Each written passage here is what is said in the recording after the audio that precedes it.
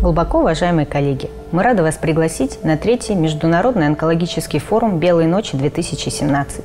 Роль работы морфолога для выбора тактики лечения онкологических пациентов тяжело переоценить. Поэтому на нашем форуме традиционно проводится морфологическая сессия, которая пройдет и в этом году.